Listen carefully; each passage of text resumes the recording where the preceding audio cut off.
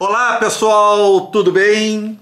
Em 1891, com a morte da Madame Blavatsky, a briga pelo poder na sociedade teosófica fica mais braba.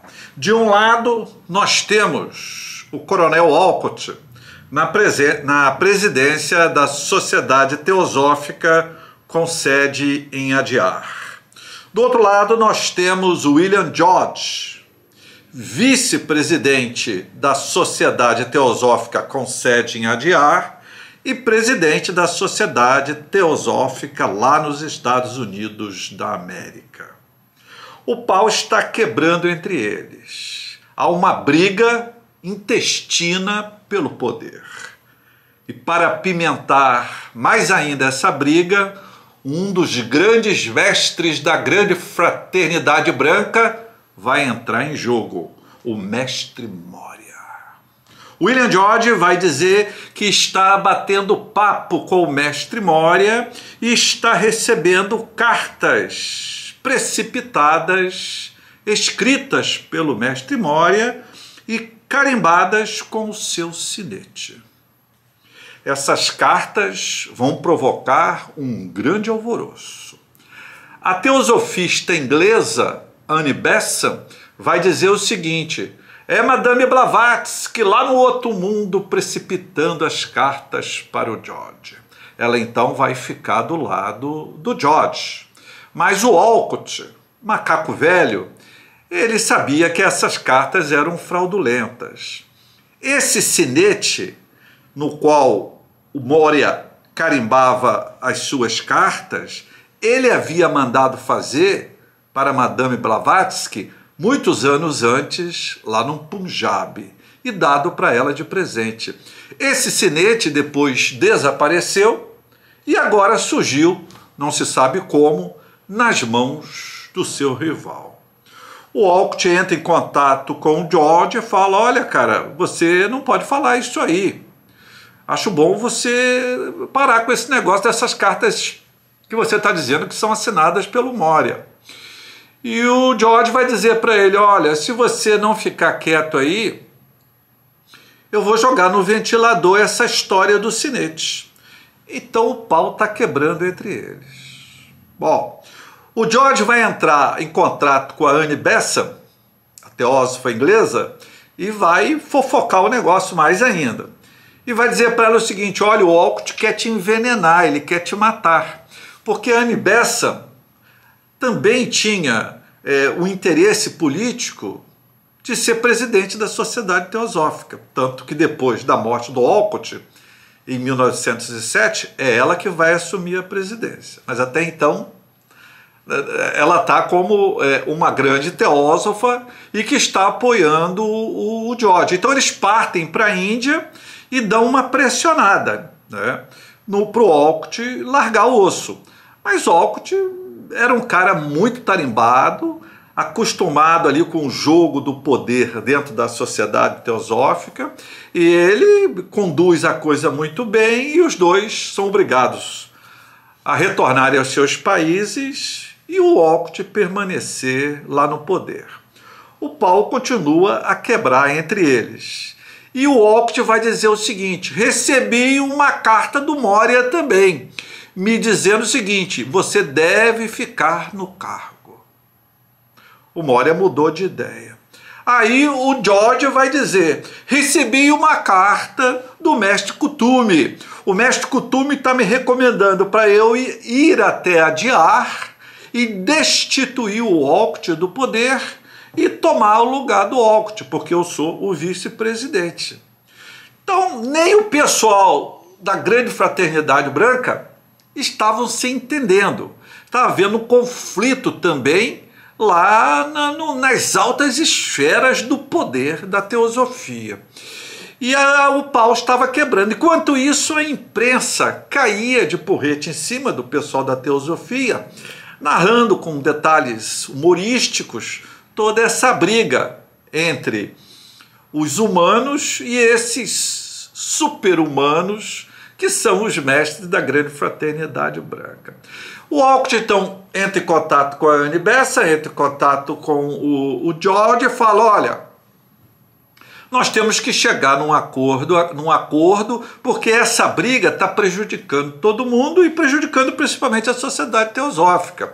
Isso aí nós temos que entrar num acordo. Antes disso, a Anne Bessa havia passado para o lado do Alcott. O Alcott, então, sentiu-se é, poderoso com esse apoio. A Anne Bessa larga o, o William George, vai para o lado do Alcott e, e, diz que as cartas do George são fraudulentas.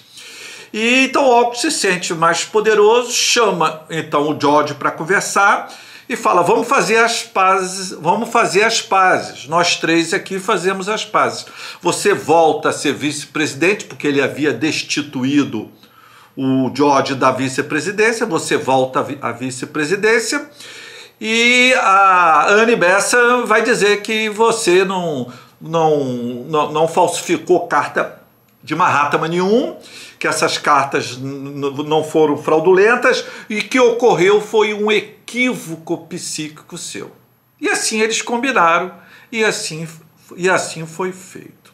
O William George volta a vice-presidente, a Anne Bessa diz que na verdade as cartas não eram fraudulentas, mas houve um equívoco psíquico do George e as coisas vão seguindo assim mais ou menos bem.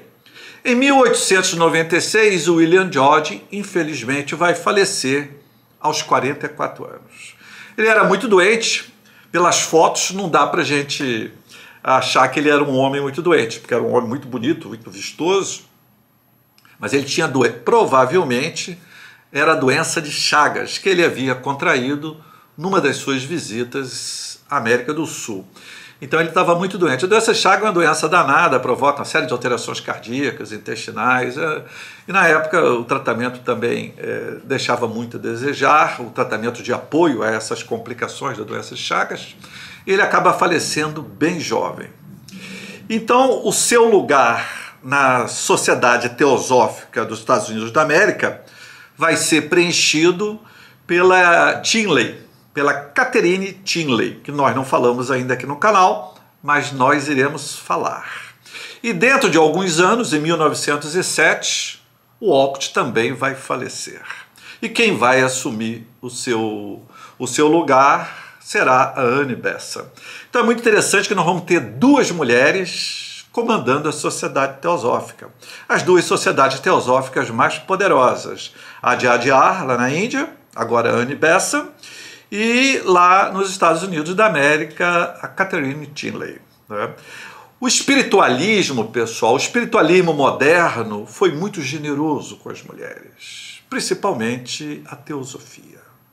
O espiritualismo moderno, principalmente a teosofia, abriu as portas do poder para as mulheres.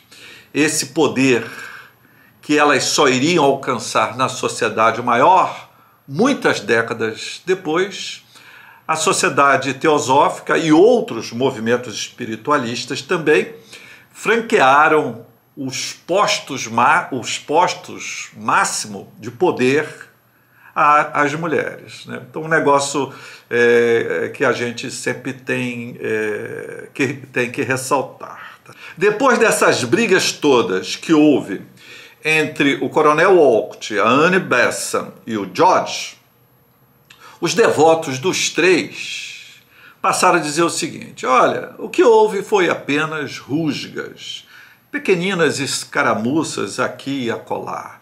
Mas esses três teósofos foram pessoas que seguiram os preceitos da teosofia.